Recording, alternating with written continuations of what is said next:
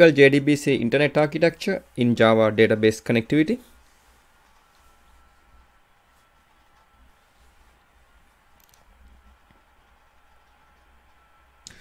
Here you can see typical uh, JDBC internet uh, architecture. Uh, this figure represents a typical three-tier uh, three-tier model. Uh,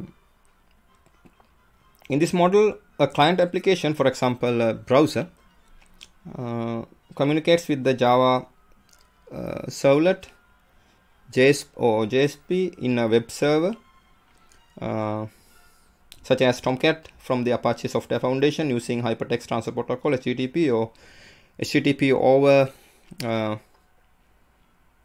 SSL HTTPS. Tomcat is servlet container that is used uh, in the official reference implementation for Java Servlet and JSP technologies.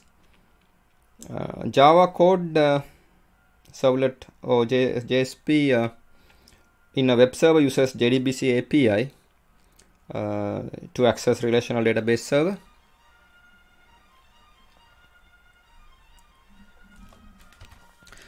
Here you can see a client machine, uh, client browser client and called browser uh, connected to uh, uh, is interacts with web server Tomcat via HTTP, RMI, or CORBA, etc.